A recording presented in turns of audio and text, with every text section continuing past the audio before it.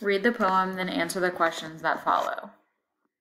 The Song of Wandering Aengus. The Song of Wandering Aengus from the poetical works of William B. Yeats. I went out to the hazel wood because a fire was in my head, and cut and peeled a hazel wand and hooked a berry to a thread.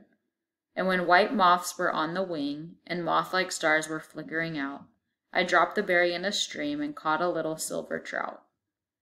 When I had laid it on the floor, I went to blow the fire aflame. But something rustled on the floor, and someone called me by my name. It had become a glimmering girl with apple blossom in her hair, who called me by my name and ran and faded through the brightening air. Though I am old with wandering through hollow lands and hilly lands, I will find out where she has gone and kiss her lips and take her hands, and walk among long dappled grass and pluck till time and times are done the silver apples of the moon, the golden apples of the sun. Aengus, god of love in Celtic mythology. Number one, which line in the first stanza of the poem suggests that the speaker was alive with new ideas? A. I went out to the hazel wood. B. Because a fire was in my head. C. And moth like stars were flickering out. D. I dropped the berry in a stream. Number two, Read these lines from the poem. It had become a glimmering girl with apple blossom in her hair.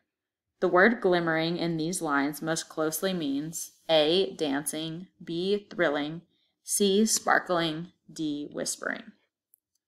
Number three. In the third stanza of the poem, what quest does the speaker undertake? A. To return home and recapture his youth. B. To return to the hazel wood. C. To find the glimmering girl once again.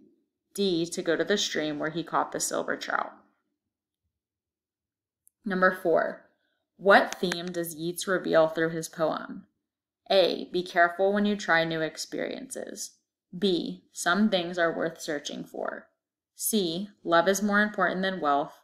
D. Sharing is the best way to show affection. Number five. How does Yeats develop the theme in the poem? A. By telling about the speaker's history of seeing things that are not real and then expressing sadness that the speaker cannot see reality. B. By contrasting the happiness the speaker feels in the beginning while he is fishing with the anger he feels after becoming an old man who no longer fishes. C. By explaining the steps the speaker took to catch the trout and then describing the process it took to transform into a mysterious creature. D. By describing the speaker's fateful meeting with a mysterious creature and then explaining his plans to continue to look for the creature. Number six. What is the importance of the poem structure in three stanzas? A. Each stanza shows the speaker fishing in a different setting. B. Each stanza shows a different scene from the speaker's life. C. Each stanza has a different meter and rhyme scheme. D. Each stanza tells a different myth about Aengus, the god of love. Number seven. Which of the following is the best summary of the poem? A. An old man wanders in search of a beautiful girl. The girl had transformed from a fish he caught many years ago. B. An old man wanders in search of a beautiful girl. He met the girl during a fishing trip many years ago. C. An old man wanders the land and fishes in every stream. He wants to catch a fish as beautiful as the first fish he ever caught. D. An old man wanders to a stream and makes a fishing rod out of a branch. He tries to catch a fish called the glimmering girl.